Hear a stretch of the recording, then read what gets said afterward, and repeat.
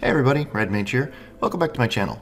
In this video I'm going to be doing another haul, uh, not quite a fall haul, uh, but just I'm going to be going through some of the books that I've got over the last couple months since I did the last one of these videos. I know it's been a while since I've done a video. I only did a couple or a few last month. Um, I hope to get more into the swing of it this month, but I wanted to go through just, just the things that I picked up recently. Now, I have a bunch of stuff that's coming and I honestly was trying to wait for a lot of it because I think some of it's really exciting stuff, but it's not here and I don't know exactly when it's coming. So I'm just gonna do what I have now. And then, you know, maybe I'll just review stuff as it comes. But I wanna start with this beautiful, beautiful Moria book. So this is the special edition of the One Ring Moria edition. Um, it is gorgeous. So the book you can see is just beautifully designed absolutely fantastic. Um, it's nice uh, matte finish. There's a um, bit of a texture to the words. There's Durin's door, or the doors of Moria. And on the back, you have a great inscription there. The world is gray, the mountains old, the forge's fire is ashen cold. No harp is rung, no hammer falls, the darkness dwells in Durin's halls. So this is a, just a fantastic book. I've already gone through the, the, the uh, review of this, the flip through of the alpha version. This is the final version of the book. And it's just gorgeous, as you can see. The maps, the pages, the incidental art. It's just fantastic. You know, it's as as beautiful as I thought it was in the, the PDF version. Full piece of full pages of art at times it's probably hard to read the words, but they're just beautiful. There's little quotations frequently from either The Lord of the Rings or The Hobbit throughout. Um, there's a nice ribbon. Actually, there are two. One and two. So you get two ribbons in this book, which is fantastic. Just a gorgeous, gorgeous book. I am so happy that I got it. Look at that great piece of art there. Fell foes. This book has the best piece of art for the Balrog I've ever seen. I think it's the best take on the Balrog of Moria. Here it is. Shadow and flame. Let's see if I can get a closer look for you. Look at that.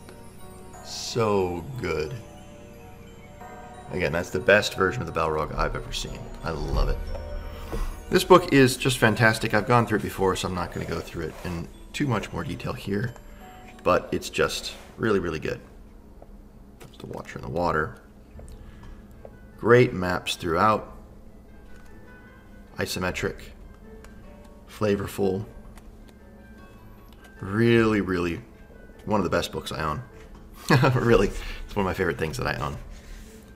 Great art. In fact, I put up the uh, cloth map. So when it came, I got three cloth maps. I almost showed those, but they're actually up on my wall now. So I put them up on my wall around my computer, so I can always look at them. So I have a map of Eriador, the Shire, and the map of Moria. And they're all in cloth, they're nice and big, and they're really soft. It's really cool. I like to look at them. So this is just a fantastic book. I highly recommend you guys check this one out. You know, the special edition, I don't know if you can get anymore. Maybe you can. Um, the down there. The original, of course, is still awesome, but the special edition cover, hardback, with this beautiful faux leather, plasticky. Um, it's it's actually not that heavy, which means the page quality. I'm not sure how it is, but you, you can't tell by looking at the pages. But it's a very, it's actually fairly light book for being 200 pages. Being that thick, it's actually not very heavy. It's surprisingly light. So I don't know what that says about the quality of the pages, but again, you wouldn't notice it by looking at them. There's no bleed through. There's no problems there. Um, but, you know, who knows? I haven't had it for very long, so maybe it won't hold up as well. But I hope it does. This is a great book, and I plan on using it quite a lot, uh, even if just for inspiration for other D&D games, even if I don't run Moria itself. So this is a great book.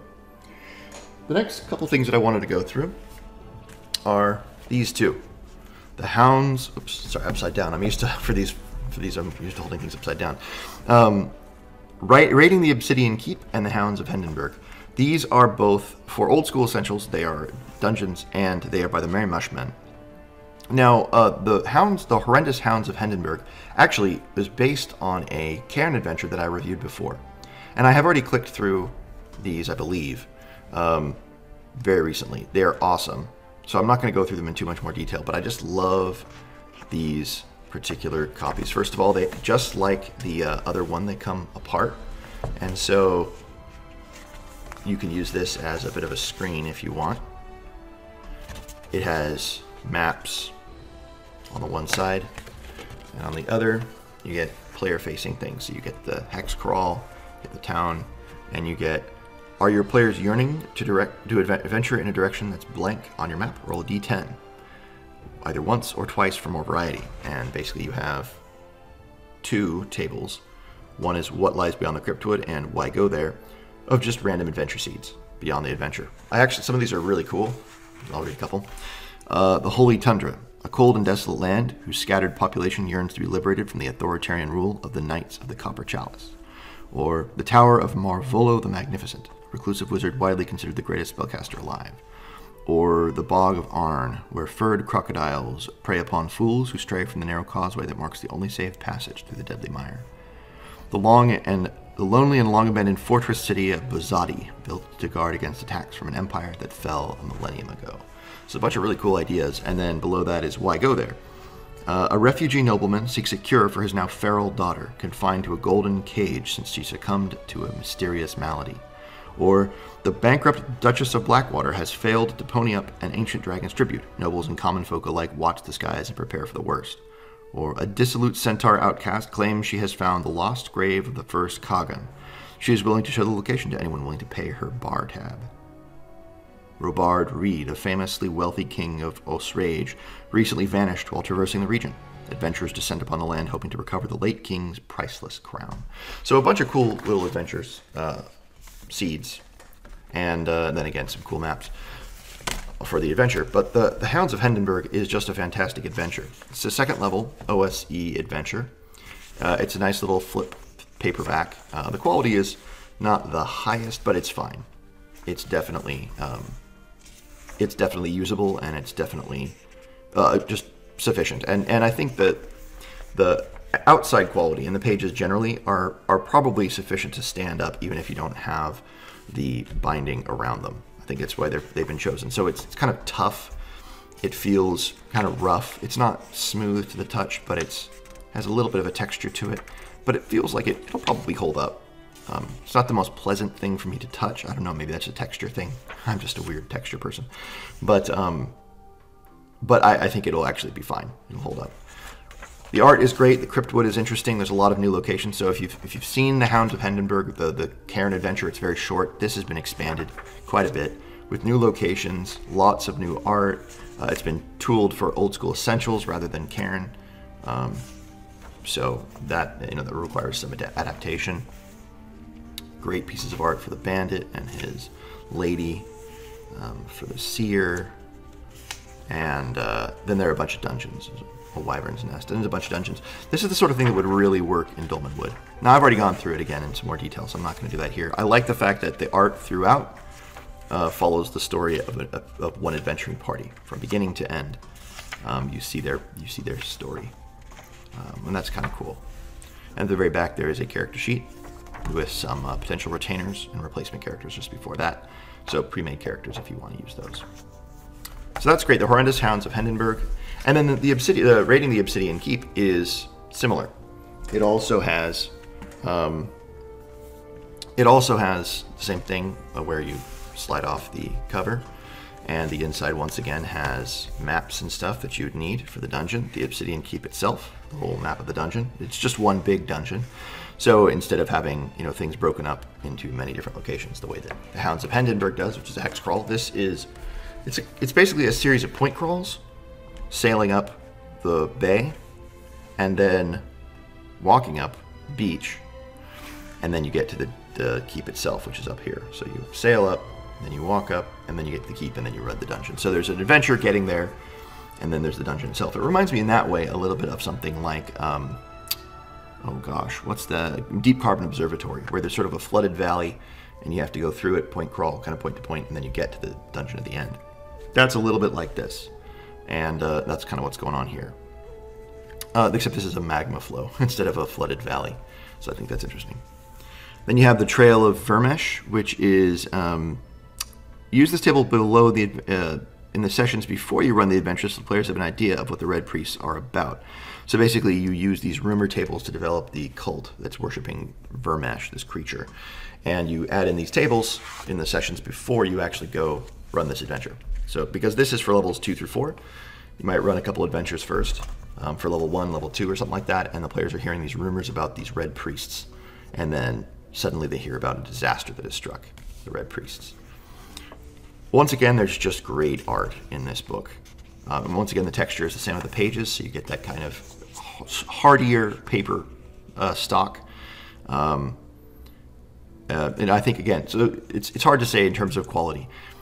I don't like the texture feeling. That's just me. But again, I think some people, most people, like 90% of people won't mind it. But I think it's chosen specifically because it'll stand up. It'll hold up. Um, it kind of have like a, a, I don't know, like a, like a trail guide. I don't know if you guys have ever been like hiking and you've taken one of those trail guides from like the ranger station. It kind of feels like something like that. I don't know if that makes sense, but it has that sort of quality to it. Like you're gonna put it in your pocket and it's gonna stand up to things for a while. That'll be legible for a long time. The Harbor of Death with some great pieces of art throughout. I really like this one. Really like this one a lot. Great piece of art there. It's huge carving in the cliff face. To Survivor Beach with some encounters and some locations. Great ones. And then you get to the Obsidian Keep itself. And it's a great dungeon with lots of crazy things happening. These worms have infested people and mutated them and they can infest you. You got to be careful.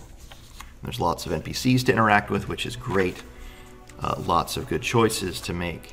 There aren't maps repeated that that frequently in the dungeon. You get them every few pages, which is nice. But you're going to have the little booklet with you, and so you're going to be able to see every page, and so it's not a huge, huge deal. There's a vampire in here, which is really funny. Um, her legs and teeth have been removed, so she's not a threat.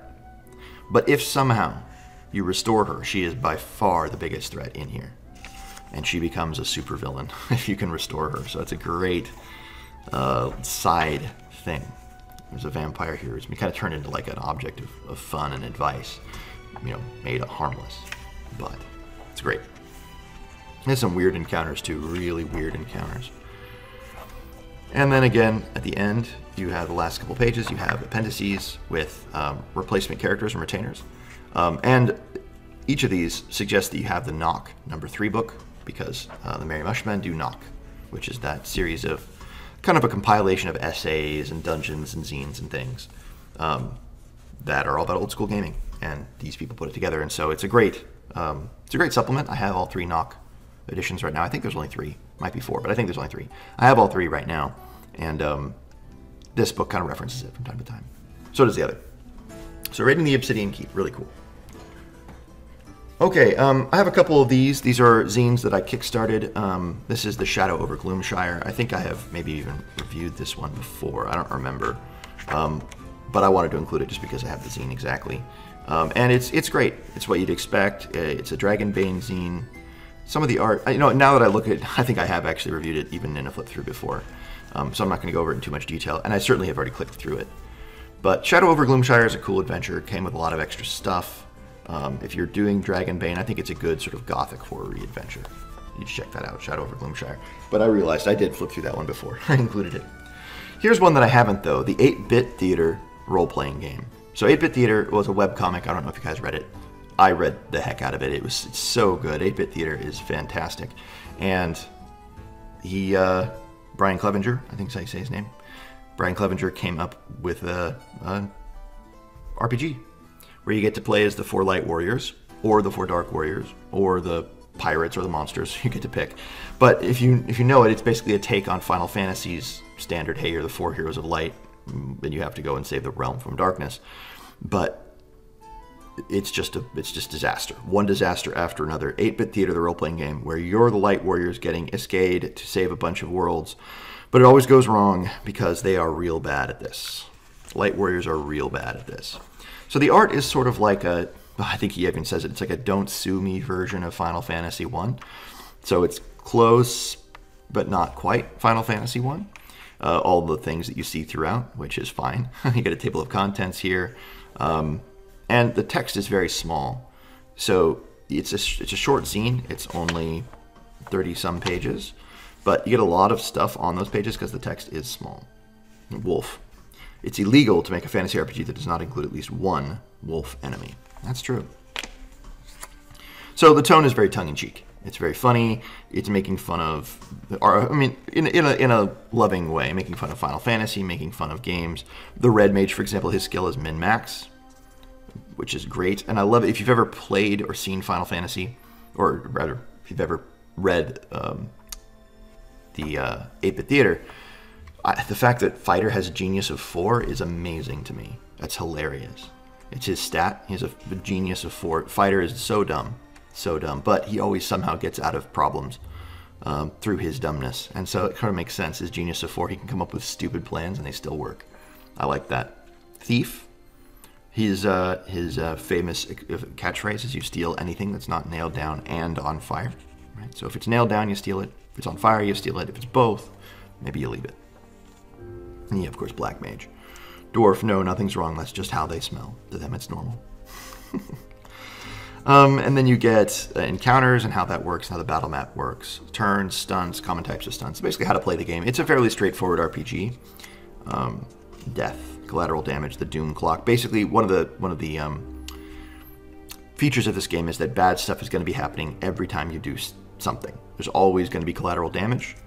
Uh, innocent bystander. Here's the target priority. Innocent bystander should get it first, then the environment, then any light warrior, then enemies right? So if collateral damage occurs, first kill any innocent bystander that's nearby. Then stuff blows up. Then light warriors can take more damage, if it would be even funnier for them to get smacked around more. And then finally, you can use the enemies. Right, that's that's that's the one thing you can do. Um, this is a last resort and really should only be used if it would subvert expectations so hard there's a very real chance of someone peeing themselves from laughter. Hey, it's not my house. Right? So obviously tongue in cheek. You're, you're meant to make things go horribly wrong. Horrible de- deeds of your shameful, uh, horrible results of your shameful deeds. Excuse me. Uh, making enemies, every every possible RPG enemy and how to do it. Infinite combinations with the asterisk.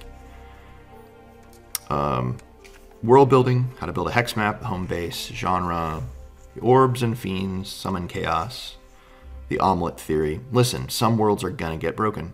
Maybe you goofed around too much. Maybe you didn't fully appreciate the scope of your actions. Maybe these people were just kind of rude and you're like, you know what? When the Light Warriors failed to defeat Chaos, it's because they died, big time. But as we already discussed, death is not the end for these little, uh, you know, languages. Great mountains, dark forest, exploration. Factions, faction clocks, or not. Mood clocks, maybe. Adventures. Great advice for running a certain kind of game.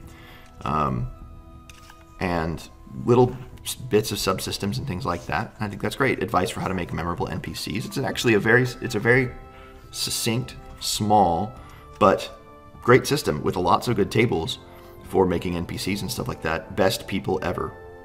Names and yeah, just tons of names. And these are the backers for the uh, for the uh, game. So I imagine you should just take these names and use them in your games those are the people who backed it. Which means I'm on here which is great. Um, awesome. Well, this is a fun one. More names that you can roll on. Number 49 is just John with a question mark and an exclamation point. Setting information with some extra blank at the end. 8 Bit Theater, the role playing game. Again, highly recommend you guys check that out. Brian Clevenger is hilarious. I loved 8 Bit Theater, so I, I was right on this. It's very small. Little flap, flip book pamphlet, but it's great. A couple things more, a few more things. I have Castle Elkenstone, which is a horror scenario by Jacob Fleming. I love Jacob Fleming. I love all of his work. I love his artwork, and I love his adventures that he's put together. This one is dark and grim. It's a horror adventure, um, and it is definitely horror, but the art is great. Um, beginning the adventure, referee's notes if you're if you're interested in running a very short one shot, probably I would imagine maybe maybe two shot, but it feels more like a one shot, um, with a lot of talking and a lot of exploration and a lot of growing dread. this adventure is a good one. The Abbey of St. Zangim. And again, the art is just fantastic in setting the tone. Mapleton Farmstead.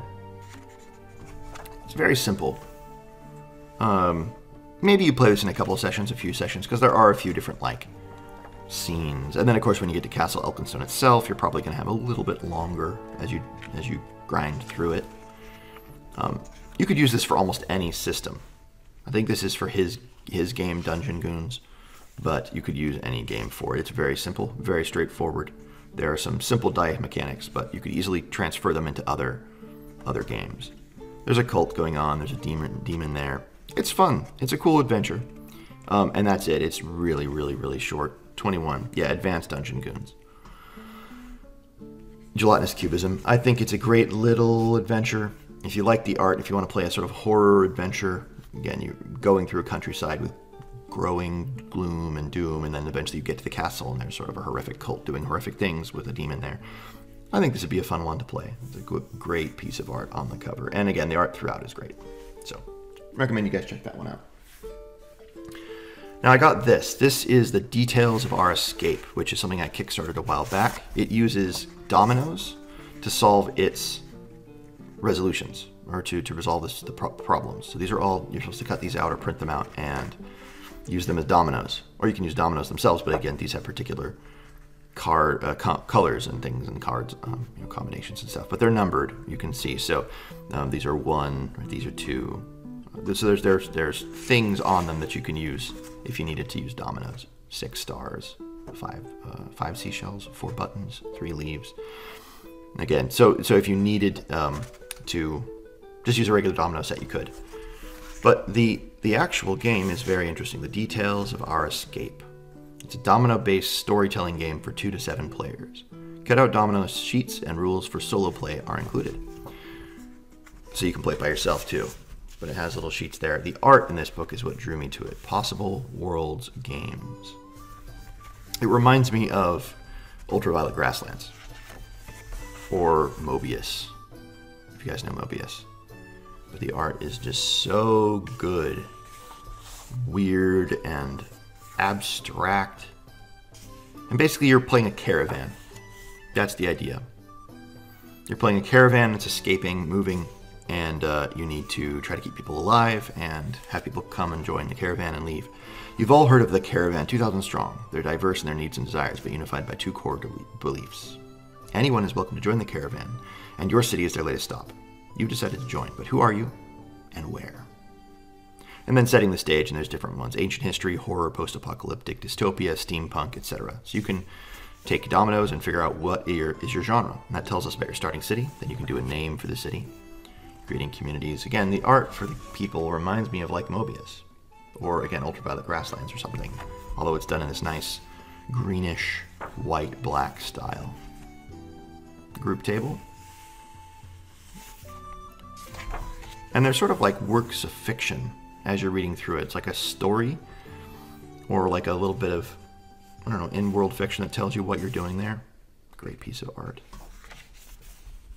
I love this one. I saw it on during Zine Quest, I think, and I was like, ooh. And I was drawn to the art style, and I decided to do it, running in circles, in circles, in circles, in circles, in circles. It's just in circles over and over and over. And how to do that if you loop back onto yourself with your domino sequence. Basically, just how to play, tables to use for the play, um, and then great pieces of art to inspire you with a little bit of fiction from time to time written in uh, the world of the caravan. Beautiful piece of art there. Final turn. And then solo play, team play, online play, and excerpts of play if you want to kind of know how to do it. With again some more fiction at the end there. It's almost more of like an experience. I mean, there is a game there, and it's, it's a storytelling game, and so it's going to be up to you to kind of interpret things and to develop things moving forward. I like these sorts of games. I like games. It reminds me of like Saving the Soul, which is something I reviewed on the channel um, in digital form. It reminds me of that. If I could get a physical form of that, I would. That's a beautiful game. So, details of our escape. I recommend you guys check this out if you're interested in a very evocative, beautiful um, team game that's more about storytelling than about winning or something like that. I like it. Now I have three books that are very odd. three very strange adventures. They're called Underworld Adventures, um, and they are uh, designed by retro video games, or they're inspired by retro video games, and they are basically designed to recreate The Legend of Zelda, the original Legend of Zelda. The maps are in that style. The the features of each dungeon are like that. The art style is in the style of that. You can get bombs and blow up walls. When you die, you're expected to start at the beginning. It's written out uh, in stats for three different systems Survive This, 5e, and DCC RPG.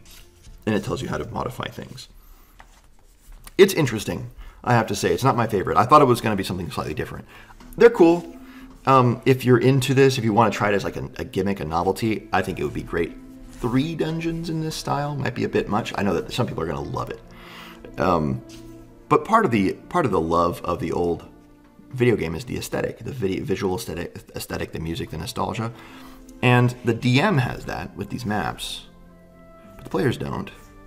And so you're just describing blank rooms of a monochrome color, basically, or a couple colors um, that are always square, that might have pillars in different locations. Um, yeah, it, I don't know how well it translates to a tabletop RPG. That's that's my worry about this. I haven't played them yet, so I don't know. Now I have played years before this came out. One of my DMs years ago did this. He he ran us through a dungeon and he didn't tell us what it was. And it turns out, as we were going through I realized it was the first dungeon from the first Legend of Zelda.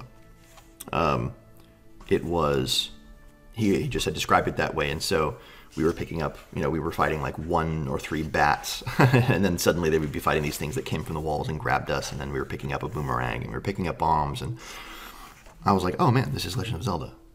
And so then I knew where to go because I knew that first dungeon. So that was sort of fun, but the dungeon itself was like we were kind of like, what is going on here? It's a little bare, it's a little empty compared to a D&D dungeon, especially compared to the dungeons that this DM used to run because he he was always a crazy Gonzo dun- funhouse dungeon guy.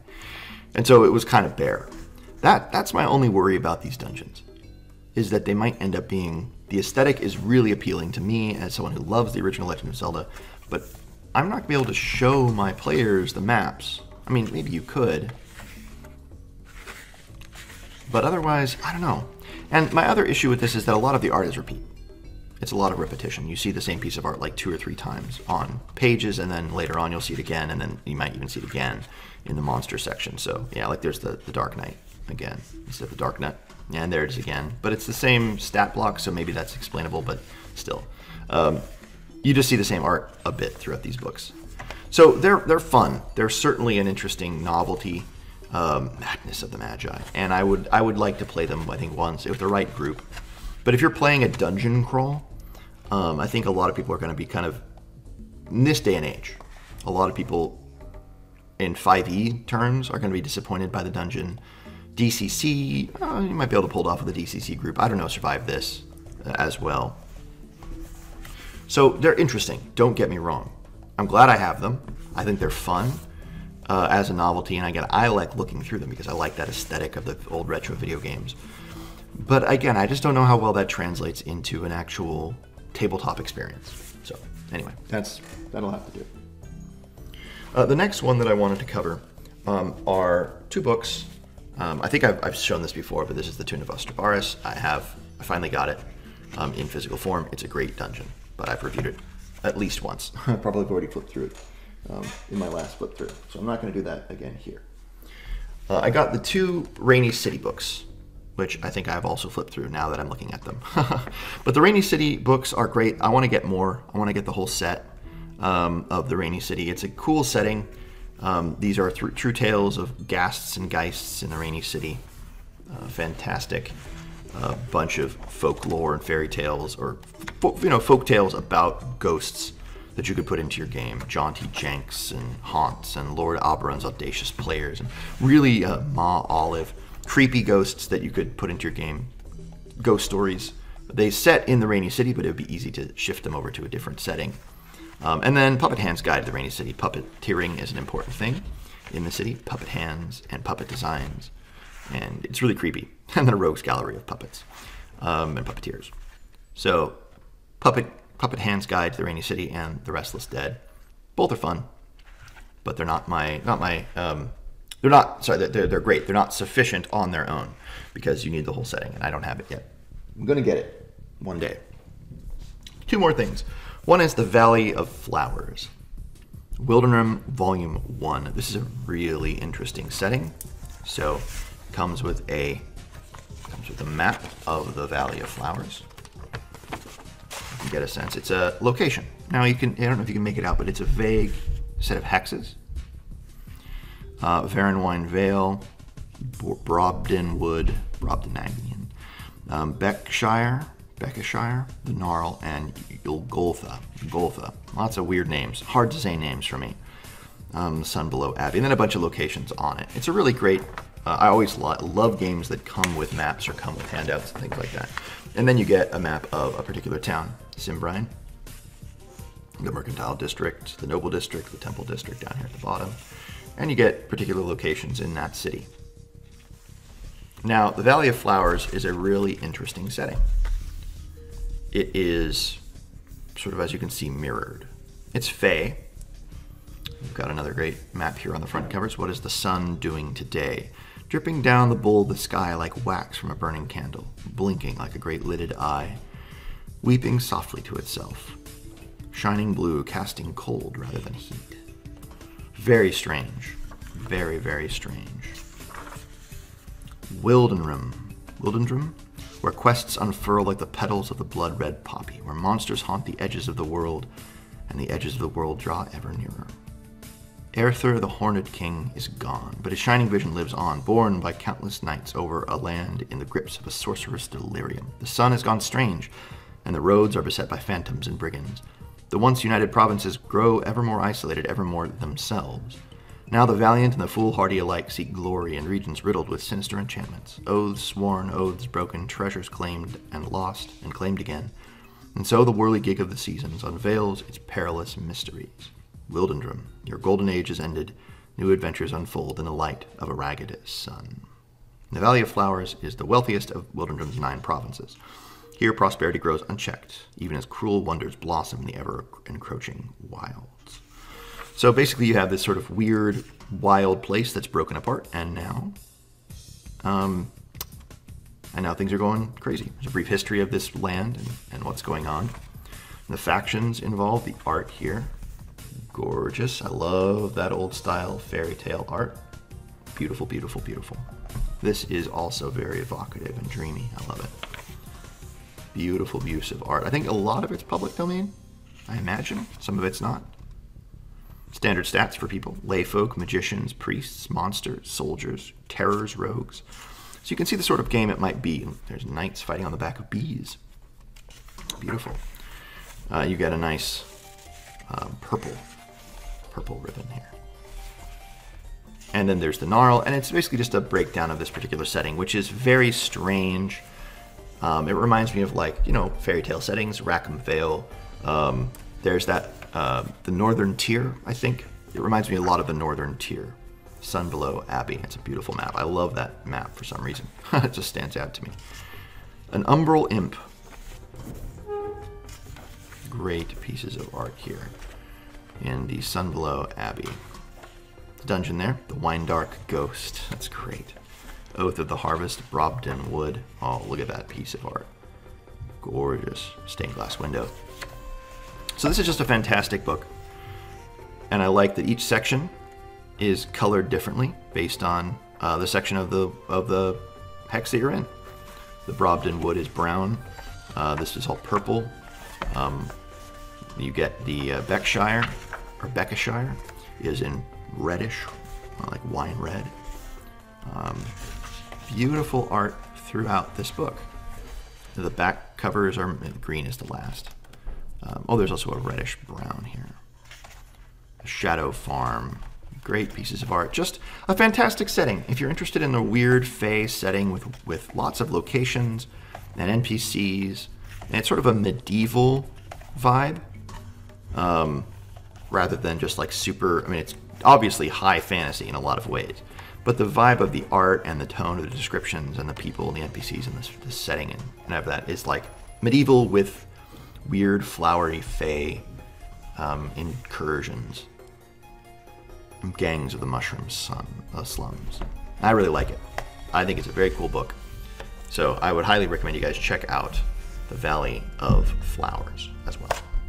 And then finally, I got this a while back, and it finally came. I got the core rules of Break, which is an anime RPG, basically. Um, it's a fantastic little book, and it, it just fills that vibe very, very well um, of like Ghibli or just generic anime. It's a thick book. You can see this thing is is, is big, and it's this one's heavy. Um, it's got a nice ribbon there. Uh, break, and then back cover. Now, this book is this game is complicated. It's a setting, it's a setting, it's a system, it's a, it's everything, um, and it's got tons of art that's very evocative of anime. I, I you know, I'm not, I like old school anime. Um, I'm really, I was really into Trigun. I'm really into Cowboy Bebop. I loved that. I loved, um, I like Ghibli a lot. Don't get me wrong. So anytime the art is reminiscent of Ghibli, I think it's great. Um, as a system, this is complicated. Like you would have, I would have to spend a lot of time learning this game and and using it. But there, are, but even just looking through it, I've read through it once. There are some really interesting ideas here. For example, there are mechanical benefits of putting people in different positions in the party lineup. So if you're in the front, you get different abilities than if you're in the back. I think that's really cool. I think that's a great idea. Um, you get bonuses, but penalties. Every class has a billion abilities, different um, things are, are designed to be very apparent when you look. The classes are funny, um, and they're all very flavorful in the anime, um, you know, in the genre. There's battle princesses, for example, um, murder princesses, uh, or princes. Um, there's the sage, you know, the different uh, races that you can play. There's like a human from our world who just looks like a nerd. it's just hilarious. Um, the heretic. Um, yeah, the the the book is just fun to read if you're a fan of like you know a certain style of anime. Uh, there's some really interesting sealed names. These are basically warlock, um, heretic uh, patrons, warlock patrons, and they're really interesting ideas. Just even as brief, and you get more details about them as you go forward, but or as you go back. But even just briefly, Egomet who never came to be. Right, that's a really interesting one. The idea there's a, a patron who never came to be, and here you go, devote yourself to him. Yeah, here's all the different, uh, uh, all the different um, species: elf, goblin, Promethean, Rai, Neko, Gruun, dwarf, biomechanoid. Uh, human dimensional stray, human native, chib, which is like a chibi, small person with a huge head, and tenebrate. Um, really interesting and again, the, the, the game doesn't just do uh, races; it also does settings, and it doesn't it doesn't just do rules. It also does the the whole the whole kit and caboodle. So you can play this game with monsters, companions, um, pack beasts, and it has a whole bunch of pre-made ones. It even has adventures in the back. Um, a lot of work went into this book. I know that. I followed along when they were making it uh, with their you know updates and stuff, and it's clear that they put a lot of time and effort into this. And it's a it's a it's it's a really great book if you're of a particular style, style, you know, I just think not everyone's going to be interested in this kind of game. I think many people who are more, you know, old school D&D players are not going to be interested in a game like this. But I think it's cool, and I'm glad that I have it. I don't know how much I'm going to play it, but it's one of those things where maybe at some point I'll pick it up, read through the rules, and learn them really, and be like, wow, I really want to play a couple of games in this, and play it. I don't know if that'll happen, but I'm glad I have it as a mad collector it's interesting to have. It reminds me back in the day I played um, an anime RPG. One of the first RPGs I ever played after D and D was BESM, Big Eyes Small Mouth, which is an anime kind of joke RPG. And I remember my character had the ability to pull huge weapons out of nowhere. That was his whole thing. So you, you, every character got like anime abilities, and his was that he could. He always had one bullet left, or he could always say, "Hey, this is my last bullet," and it was like super powered. Um, and then I could, couldn't shoot anymore, but it, but you could. You had infinite bullet ammo until basically I said, "Hey, this is my last bullet," it was like a big shot. Um, and then he also had this ability to pull big weapons out of anywhere. Just like suddenly he had this huge minigun. I thought that was hilarious. Um, and he's just walking along with just a backpack or just nothing, just his pockets and something. He's like, which you see in anime sometimes. Anyway, I think this is fun. So that's the last book that I wanted to cover. Anyway, I hope these have been interesting. I know this is not my usual set of books, but I wanted to make something, put a video out there because I haven't done one in a long time. And, you know, I hadn't done a haul, and uh, it's getting into the third quarter of the year, so I thought, hey, I might as well do my quarterly haul. All right, guys. Well, that'll do it for this video. Hope you all have a good one. See you in another.